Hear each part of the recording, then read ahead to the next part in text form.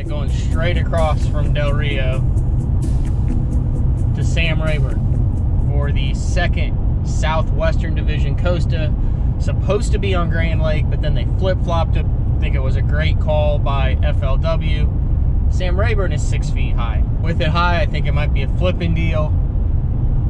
About a seven and a half hour drive across the middle of nowhere in Texas. It is Sunday, about 5:45 a.m. First day of practice, staying here at the Rayburn Inn, which is right next to the Stump. I'm sure we'll go there multiple times this week. Probably one of the most historic bass fishing related restaurants in the United States. There is a lot of water to cover before Thursday. A lot of fish in this lake though. I think I'm gonna go down and put it in Castle Boykins today. See how that goes.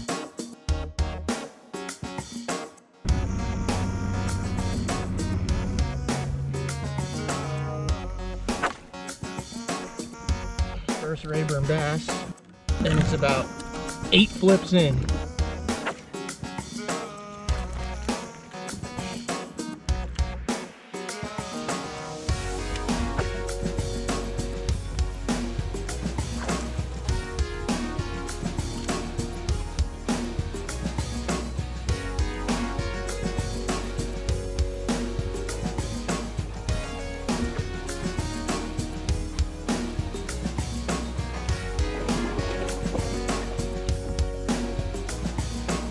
We're about a half hour in.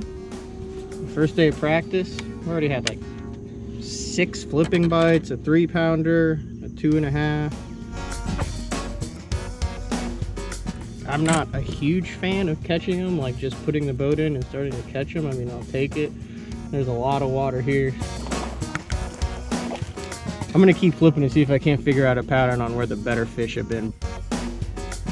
Both of those fish have been on the side of points on hardwoods, uh, both of them on willows.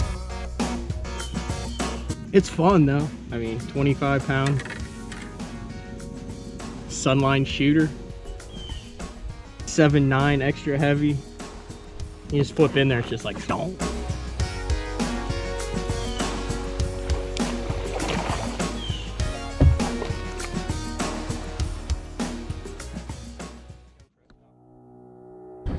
All right, Monday morning, I got my boy Dylan Thompson who's gonna practice with me the rest of the time. Yesterday went uh, really good as far as getting bites and getting confidence. A lot of those fish flipping. I probably had 30 keepers out of the bushes, but I set the hook on everything because I just didn't find any of those bigger fish. There are some really good guys that are fishing at this tournament.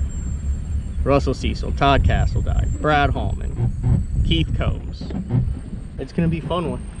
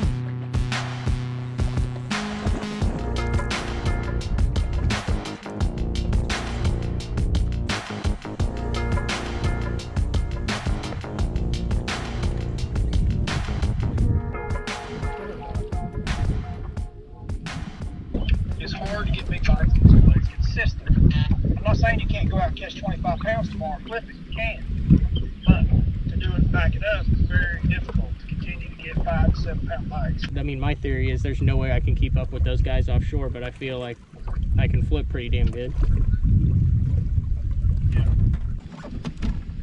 Interesting.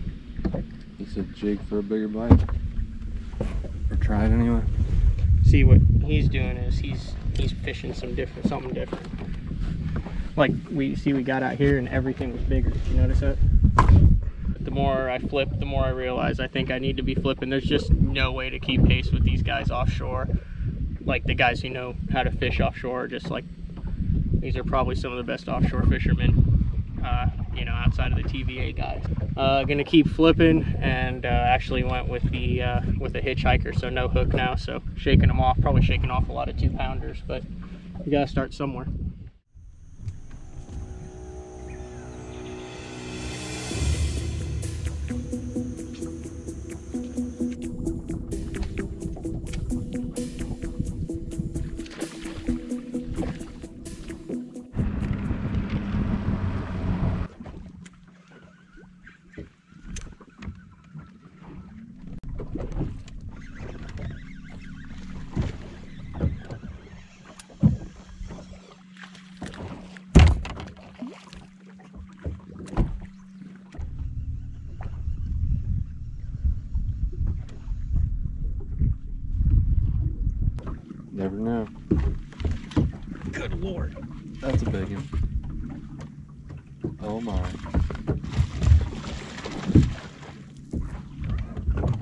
He gone?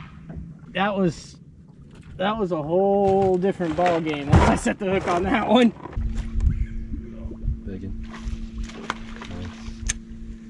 Nice one. Nice. Mhm. Very nice one. Two and a half. Yep. Well, that was day three. It is uh, about 3:34, but I haven't been killing myself these days. Had a big bite today. Had a couple good ones. Added one more good area. It's a two rod tournament. Well, maybe. Nah, I'm gonna throw a swim jig a little bit, maybe. But for the most part, it is uh, flipping 101. Kind of have a deal in the mornings more on the willows and the bushes and oh my gosh that uh, that metal there is really hot and then in the afternoons uh, they get up underneath the cypress so had one over four pretty much every had one over four pretty much every day um and one more day to kind of figure it out and get dialed in and I just lost a tungsten. That's three quarter ounces. That was a seven dollar pitch. That sucks, but all right, Tuesday in the books.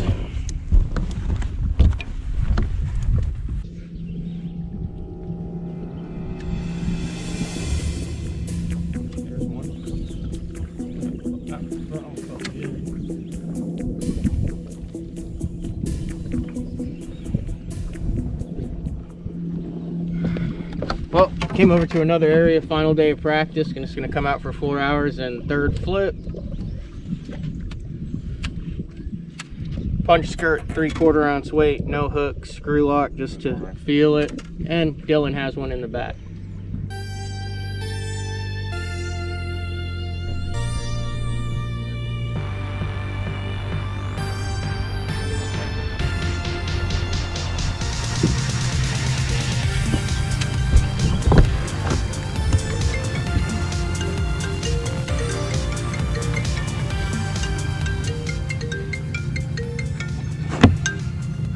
Hello? Hi, it's Veronica there. Uh, it's the wrong number.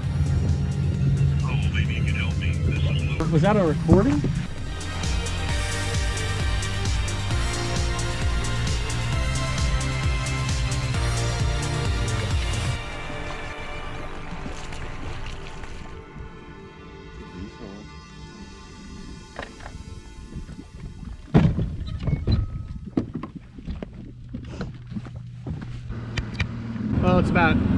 8.30 in the morning Wednesday practice.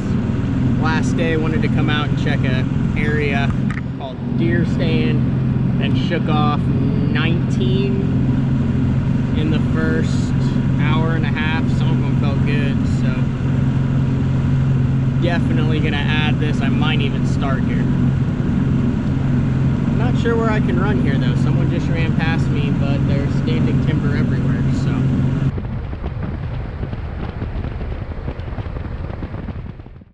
Well, it is Wednesday night. Tournament starts in the morning. We're at the Rayburn Inn. Boats out there. All the compartments are still open on it. I got rods everywhere. I got tackle everywhere. It's almost 10 o'clock. I am not ready to go because it is game seven of the Stanley Cup Finals. And the Blues are leading 3 0. That's John from the Bass Tank. And uh, I've been a Blues fan since I was like a little kid. Uh, I grew up playing hockey, played junior hockey, uh, and played uh, club hockey at the University of Oklahoma. But uh, you know, growing up in Illinois, I was only like two and a half hours from the Blues, so I've always been a big Blues fan. So I mean, Game Seven of the Stanley Cup Finals, and they've never won it. They're up 3-0. I don't know if that's like a good omen. It's got to be a good omen for tomorrow. Like first flip, five pounder. Pretty excited though. There's like seven minutes left in the game. Were you yelling at the t? Were you yelling at the TV? Yeah, oh yeah, yeah, yeah. It was, it was yeah. It's no, when they got that fourth goal, I said they got it, they got it. Yeah, that was awesome. yeah, yeah. So are you all ready? Am I ready? No, I'm not ready. No. No, I still got a bunch to do. Yeah. Okay. Yep, I'll be ready to go. 4:30. I'm at the boat launch. Okay, number six, and you'll be checking in at two, huh? Yep, boat number six. Check in at two. Okay. All right, they're about to give him the cup.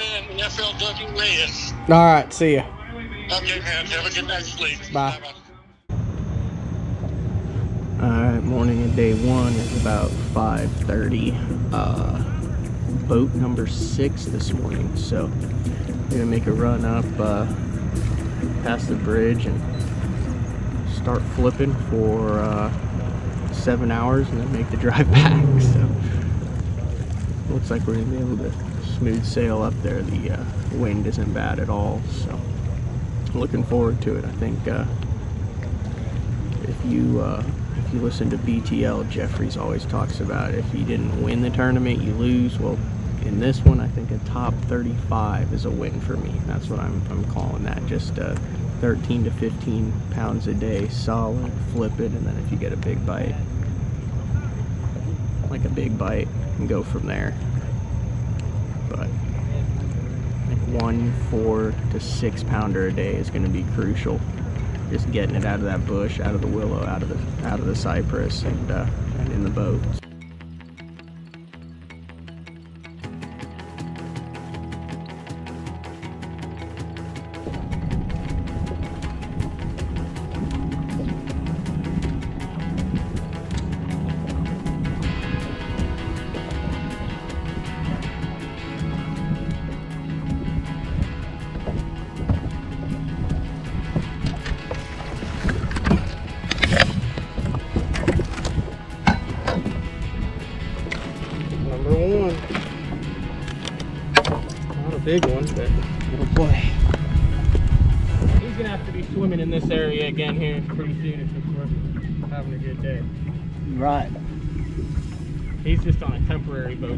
You see any of them eagles up here?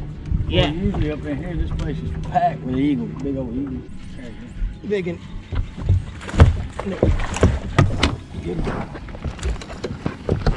there's number two.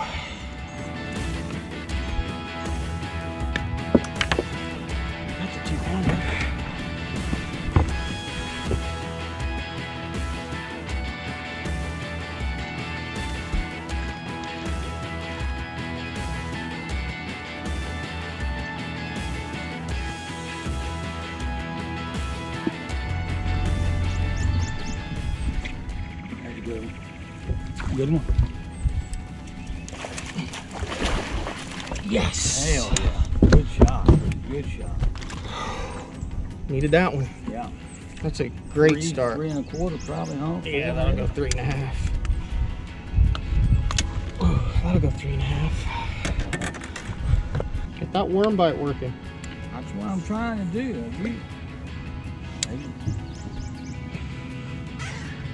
I mean, I'm picking off high percentage stuff first thing in the morning. Once we settle down, you'll have, you know what I mean? Yeah, no, hey, I understand person. I got a picture on my phone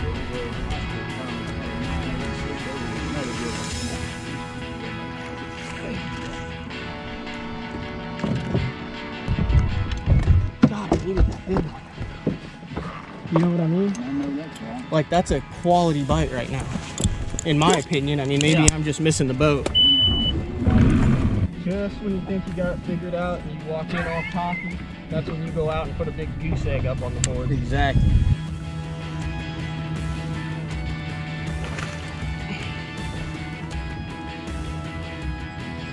Yep, number four. That's a little guy.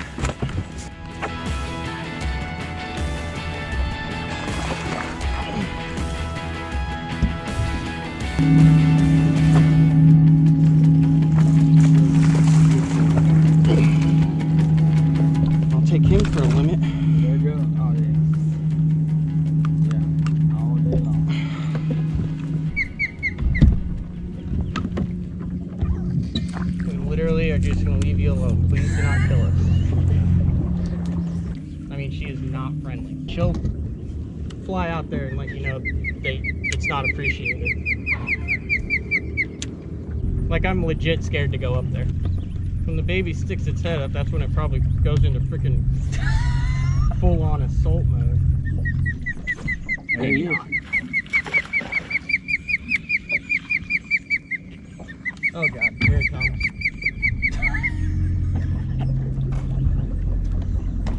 Okay, we're leaving you alone. It was just a little. See, I got that fish out from under there. Now we're leaving you alone.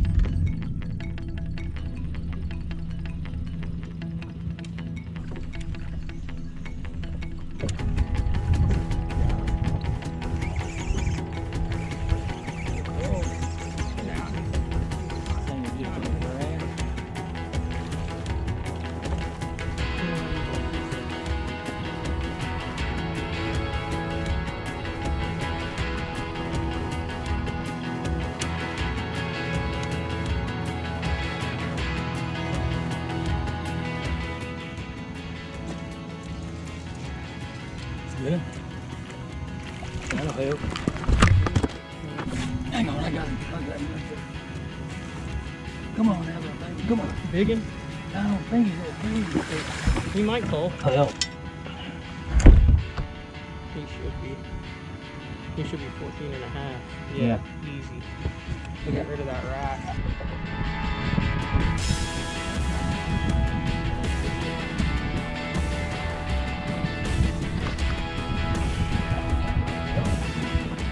I worked with uh, Harold Allen for about six years when I first started.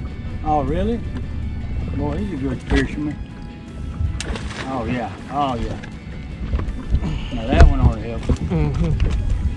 He, he's, a, he's a real good fisherman.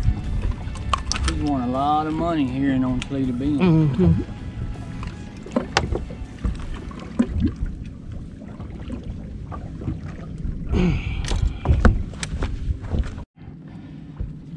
Hey, but you got him. That's what matters. Oh, I don't think I got him on video.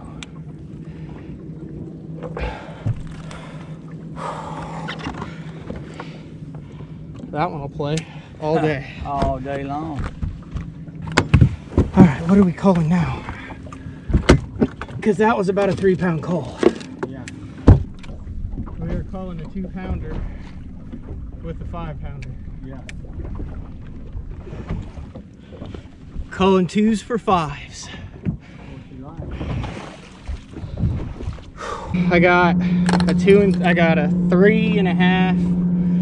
I got a four and a half, a three and a half, a two and three quarter, and a couple two and a halves, I think. Love it when exactly what you thought was gonna happen actually happens. That's a beautiful thing.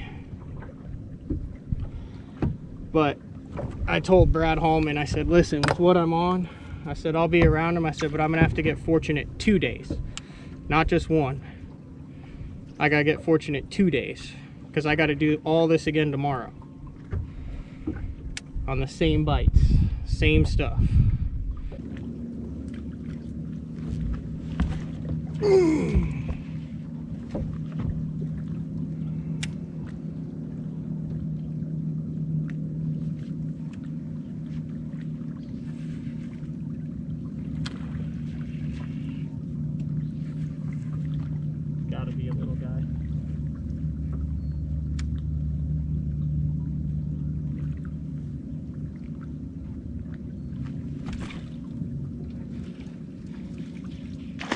No, no, no, no, no, no.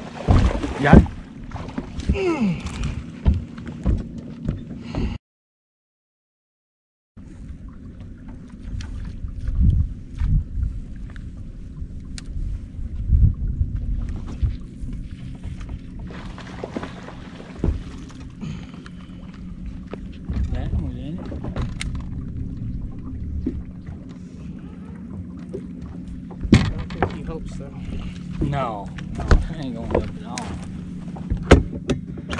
a solid fish. Not at all.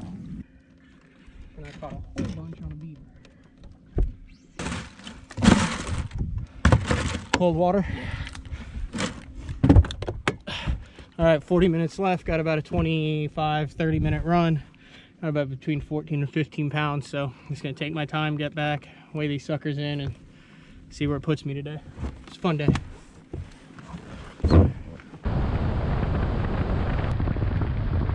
Well, that's it for day one. Just got to weigh them in. Uh, first time this year, it has gone as planned on day one. If you have watched the AFTCO Bass Boot Camp series, you will have seen the debacle that it has been on my day one. So now we'll see if I can put two days together. I really have no idea where this weight's going to put me. It's exactly what I thought I could catch if if if I made the right decisions. Uh, I don't feel like I got lucky today. So you know, if I make the right decisions and get lucky, then you're up in the 17, 18 pound range. But I got five good ones. I got one that's basically right at two and a half that I was able to get rid of. A couple two and three quarters, a three, some. No, I got two big ones. Don't I? Yeah. Yeah, I got a four something and a three something and a three and a two and three quarter and a two and a half. So I might not be in too bad a shape. We'll just have to wait and see. All right, well, we are back at the hotel after a long day on the water that actually flew by. I ended up having 16.2 today, which put me in 13th place overall. So I've broken the curse of not performing well on the first day. So now I got to see if I can back it up on the second day. That's right, I have the St. Louis Blues shirt on. Stanley Cup champions. So it's been a good 24 hours. Got to see if we can back it up tomorrow, though. Um, everything came flipping, and it's not easy to get above 12 pounds flipping. Game plan for tomorrow. I mean, I, why not? Let's just catch another 16 and fish on Saturday. All right, we just did the national anthem, day two. About 119 out of 124. Got the man right here, Brad Hallman. What up? Go out and uh, hope for a repeat performance. Put my head down. Brad actually has more rods on the front deck than I do. That is a first. That is a first. Oh, 119. Thank you, 119.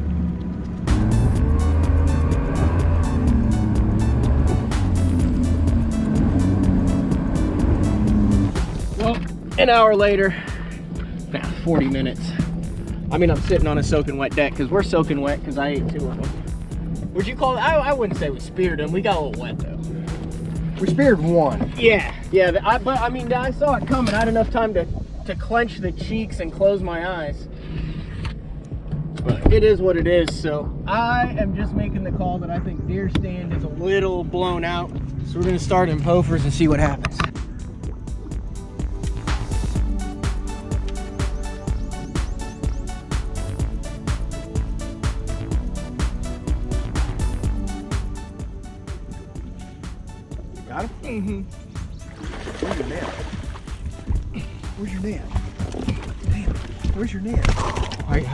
Number one. That's a good And it's a good one. Oh, I will take that all day. Is that you, Kevin? Yep. What's up? You got him? First flip of the day, three and three quarter. Nice. I heard you back there. What about you? Far back you go? What? How far back you go? I'm just, I, I just came down this gut. This thing's get got obliterated yesterday, but I figured it, I was gonna start in deer stand, and deer stand was too windy. I caught uh, four and three quarter close to here at 11 o'clock yesterday. Damn,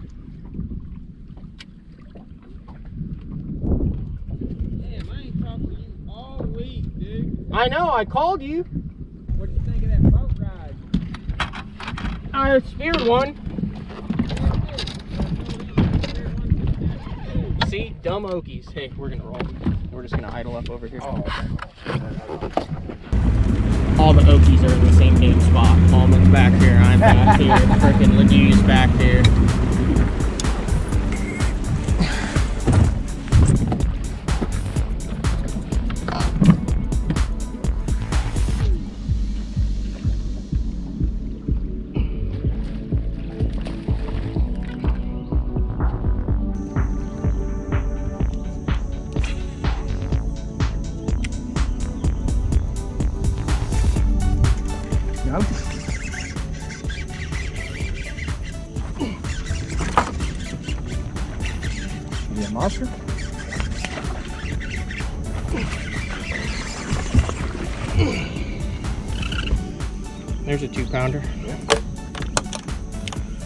Take him.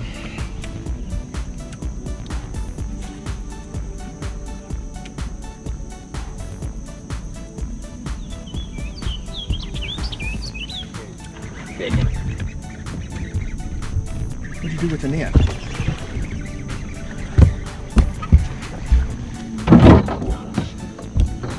Yes. That's a two and a half. You what?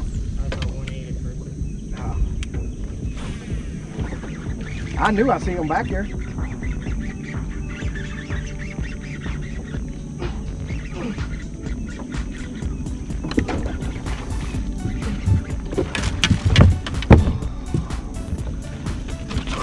Seen one hit back there. I'll take him too.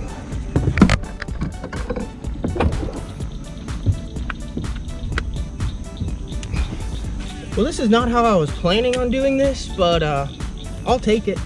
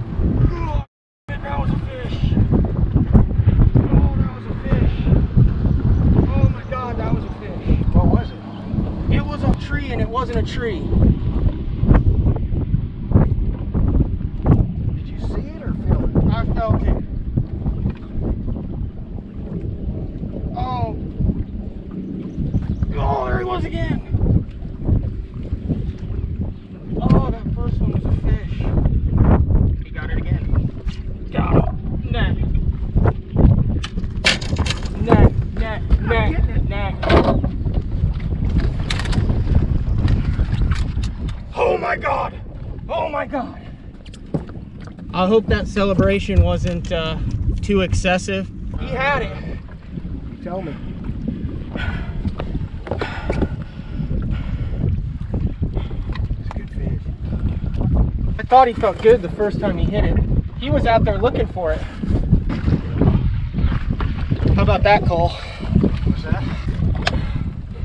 Dude, he hit it three times. He hit it three times.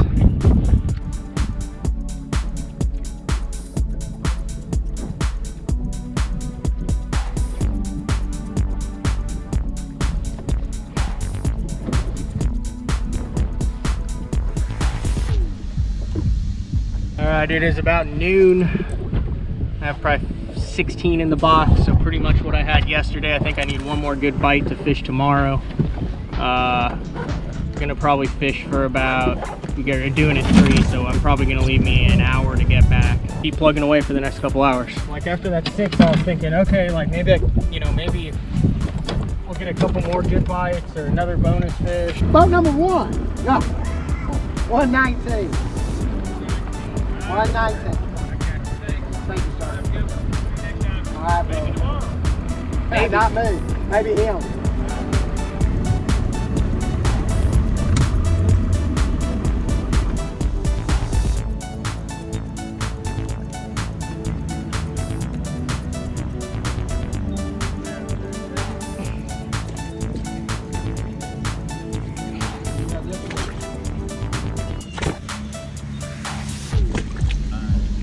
Should have called that one.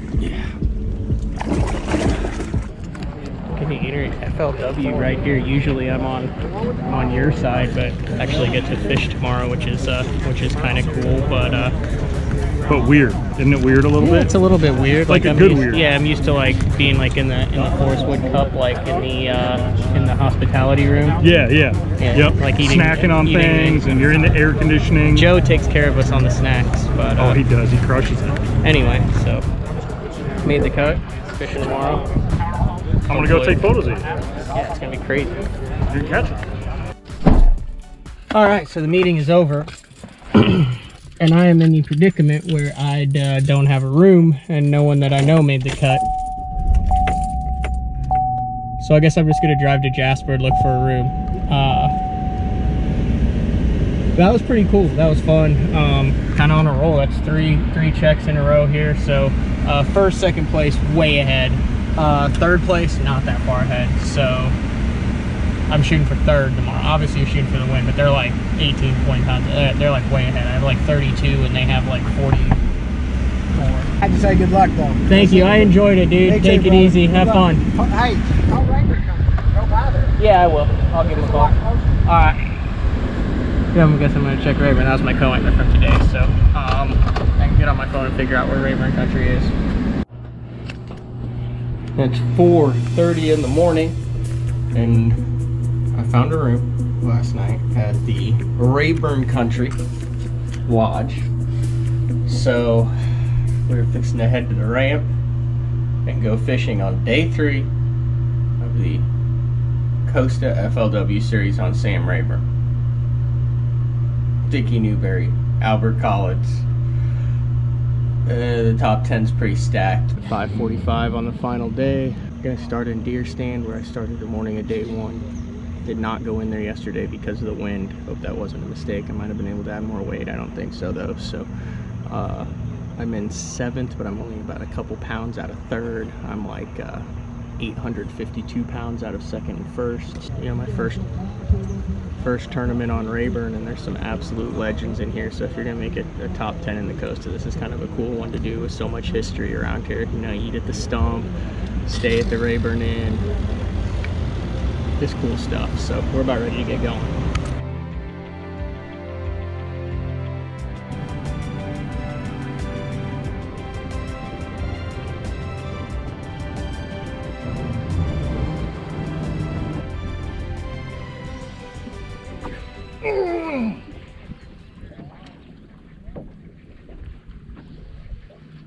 That might have been a good one. Yeah. Mm. I don't know how I missed him. Did you hear that line sing for a second?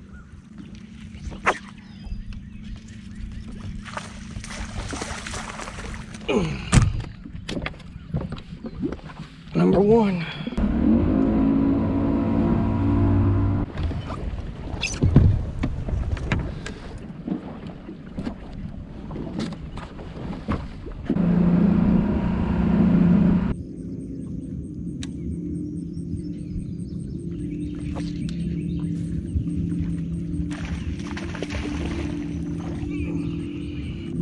Number two.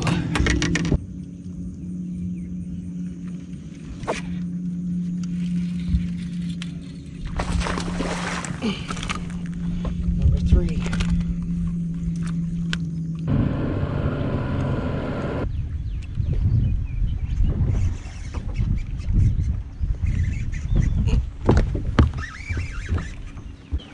Thought he was bigger. Number four, though.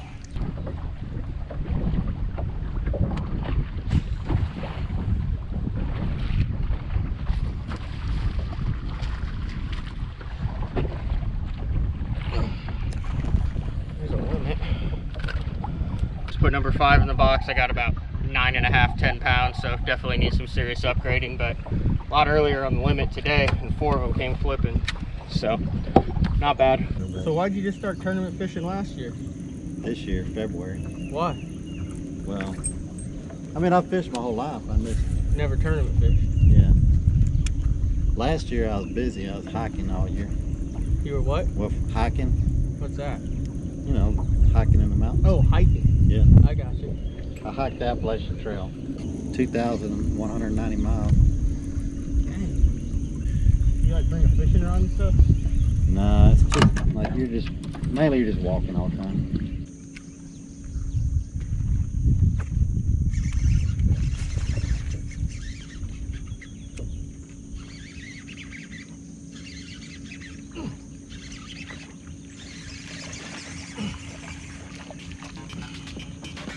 One I've caught it.